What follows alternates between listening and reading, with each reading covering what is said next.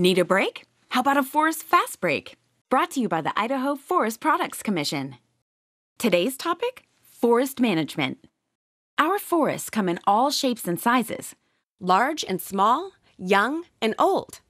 In most forests around the country, chances are that forest management is taking place in one form or another. But what does that actually mean?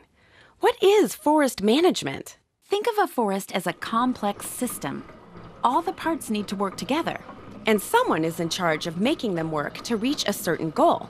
That someone is a forest manager. Hello. Now, forests are managed for different goals. Some can be managed primarily for the wood products we use every day, others as wilderness areas and for wildlife habitat or watershed protection. Still others are managed for recreational values. But today, most forests have a mix of these goals. Forest managers figure out what needs to happen to reach those goals. Could be planting and growing trees, could be thinning or harvesting trees, could be altering the habitat to favor one species over another, or simply protecting areas to minimize human impact.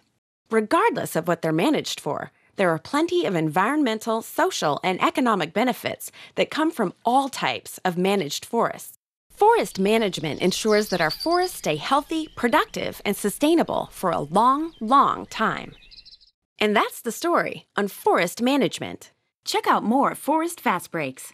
Visit idahoforests.org. Yay, forests!